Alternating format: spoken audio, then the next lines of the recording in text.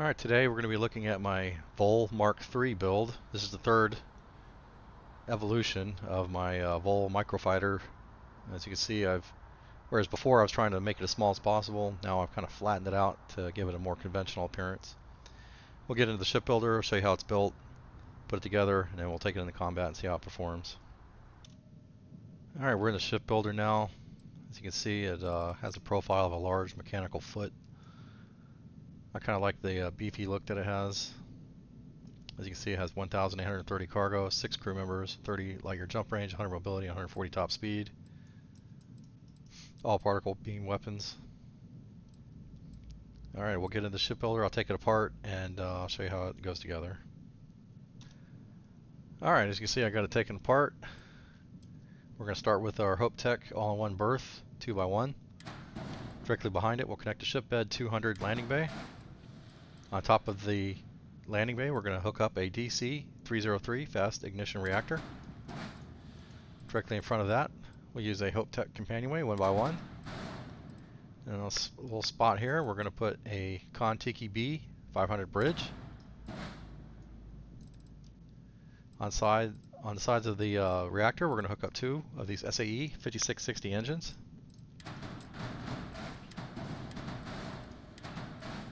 Directly below the engines, we're going to hook up our NG20 landing gears in our 4 configuration. And the reason you want it is in their 4, you don't want the thick ones. Because you want to leave a little gap in between the ship bed, landing bay, and the gears.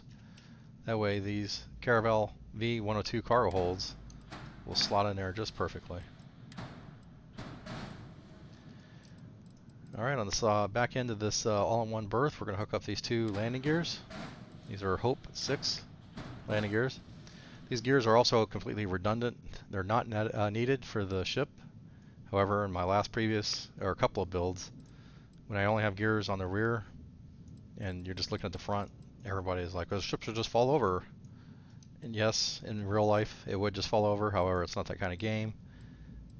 The game only cares about the landing thrust that each gear provides. It doesn't care where the gear actually is. But I'm going to throw you guys a bone. We're going to put the gears here just so uh, it has a more conventional appearance. For cargo, we're using 400 cm ballast on both sides. We're going to put our grav drive right on top of the reactor. You could put it down here and it would give it a flat appearance. I kind of like the way that this came out. It has a more uh, aggressive profile, in my opinion. For fuel tanks, I'm going to use a Titan 450 HE3 tank and a Titan 550 HE3 on this side. Even though they're visually identical, I uh, only needed 233 fuel, and these two tanks give me 270. If I were to use a two 550s on both sides, it would just be wasting mass. Our Hope Tech Cap A4 will go right on front of the grav drive. We're going to use a uh, Vanguard Bulwark Shield generator, put it on top of the grav drive. A Hope Tech Nose B in their 4 configuration will cover up the 2x1 hab for aesthetics purposes. I had some questions about this uh, 100 DP Slim Docker and a few other videos. People didn't know you can actually flip this thing around. You can. I think it's just the Deimos ones that allow you to do this. But uh, we're going to flip it upside down and we're going to put it on the bottom hab right there. Alright, now we just got to mount our guns on top of each engine. I use an equipment plate to put one gun.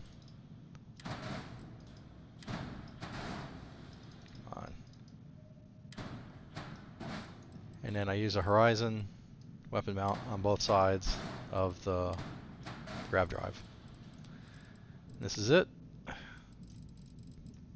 I think it looks uh, pretty good, pretty aggressive.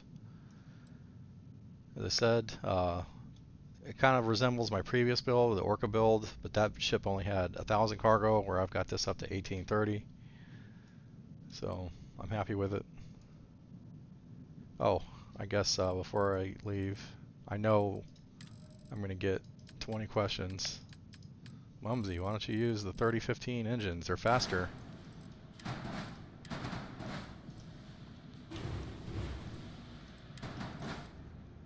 Okay, first off, these engines are what holds all the stuff to the side, but throwing that aside, look at our mobility. Yeah, our speed went up by 40, but mobility is at 45. So these these uh, White Dwarf 3015 engines, they're good for speed, they're terrible for mobility. So they don't work in this uh, configuration that I have. So we're going to go back to our SAE 5660s.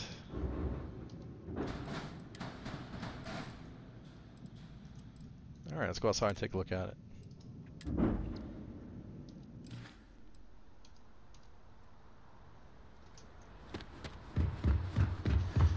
As I said, these gears are redundant right here, but people were complaining that it just looked dumb with two gears. Like, fine, whatever, I'll put the other two gears on there.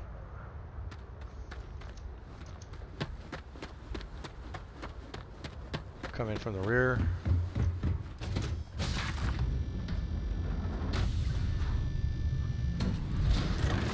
Down here we have an all-in-one berth. It's got two bunks. It's got the bathroom. Up here is that one-by-one companionway. Your ship smells so much better than Dad's. Like, a lot. If I could find a way to shut the door and lock Cora in there, I would, but I don't know how to do that. Got our little refrigerator. Table. There's some sink, stove. I guess can't actually cook at it. There's a uh, couch, table back here, and then we'll go up into the bridge from this spot. So as I said before, all four of the crew, or excuse me, all six of the crew members are coming from this bridge. I don't really find a use for more than eight crew members, or excuse me, six crew members. Uh, for those of you that are actually using eight, let me know which eight you're using, because I'm kind of curious to what benefit it is for the last two. All right, we'll go into combat, or excuse me, into orbit. Take a look at some of the stats, and then uh, we'll take it into combat.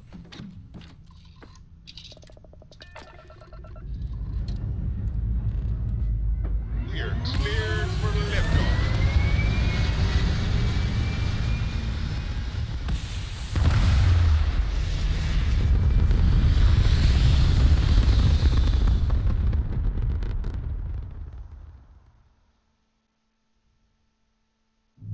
Orbit locked. Alright, we had 1,830 cargo base. We now have 3,170 because now we're uh, getting our payload skill. I have 4 points in payload applied. That increases by 50%. And I have Sam Coe on board, which also increases by another 10%. That brings us up to 3,170. Shields, 2320. I don't have Amari on board right now. And as I said before, we only have 6 because that's all I really find useful. This is a Class B ship. I think, like I said, I think it looks pretty nice. Let's go over to the Serpentis system and uh, we'll uh, see how it performs.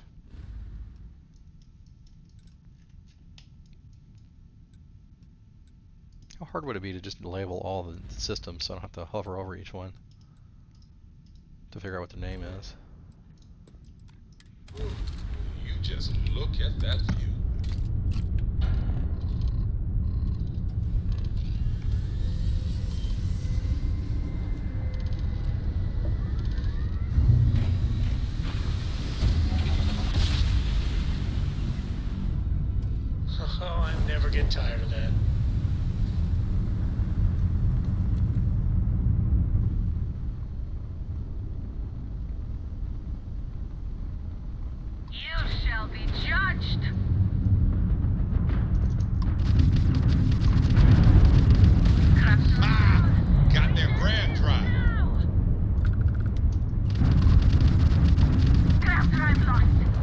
Ends here. So that's easy. Correct hit, engine. See if there's a uh, hostile area down here I can take a look at. Yes. Is that a hostile? No, that's a sensor contact. Yeah, I'll just fly over here.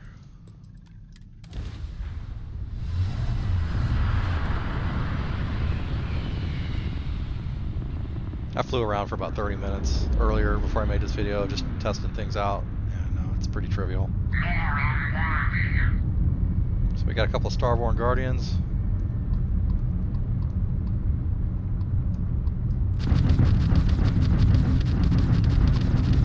Engines fried. The target, I have skills up to 177. The artifacts are mine. and there goes their engines. Whoopsie. So that's easy. Like I said, there's I've fought four uh, guys at a time, and it's just there's no contest. Let's take a look at uh, photo mode. The outside, it's a nice looking ship.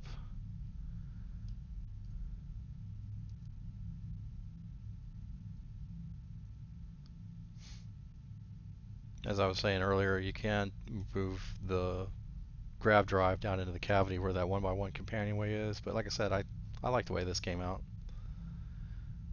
Sometimes smaller isn't always better. All right. If you have any questions, let me know. Or if you have any uh, builds you'd like me to try uh, putting together, let me know, and I'll see what I can do. Thanks.